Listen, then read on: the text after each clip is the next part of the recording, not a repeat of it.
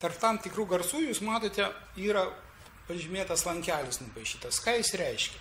Lankelis reiškia kad garsai yra sujungiami praktiškai stengiantis prie idealo. Maksimaliai sujungti garsai.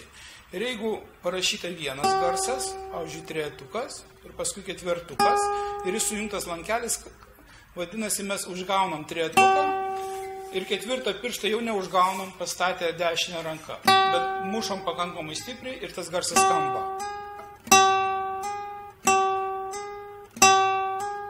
Pagal klasikinį pavadinimą tai vadintųsi legato, pagal dabartinį dažnai vadinamą hameriu, kada mes sujungiam garsus. Pirštas yra nestatomas, nes kaip matote, jeigu aš statysiu, garsas nutils ir viskas. Bet gana iš toli, jeigu nori, kad skambėtų mušu per stygą. Ir atvirkščiai, jeigu lankelis būtų numpaišytas iš ketvertukų į trejetuką, aš turėčiau iškart prispaustą abu skaičiukus ir ketvertuką ir trejetuką, užgaunu ketvertuką, su dešinė ranka daugiau nieko nedarau, pakeliu pirštą ir skamba trejetukas. Šiuolaikinė kalba tai vadinasi pulas, pagal klasikinė būtų legato. Taigi, kada jūs pamatysite tarp garsų sujungtą lankeliu, tai žinokite, kad tie garsai, kurie sujungti lankeliais, jie neužgaunami dešinę ranką. Gali būti ir keli garsai, ne tik tai du, gali trys.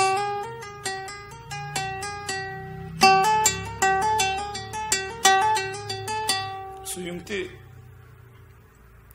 legato, užgaunus tik vieną garsą.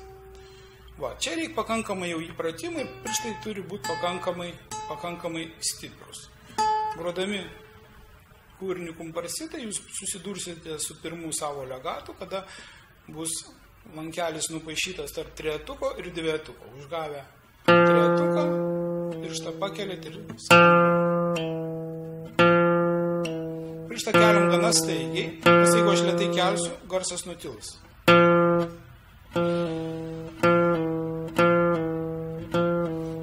Kad žinotumėte, ką reiškia lankeliai parašyti tiek tabulatūroje, tiek natomis. Tai yra legato, pulai arba hameriai.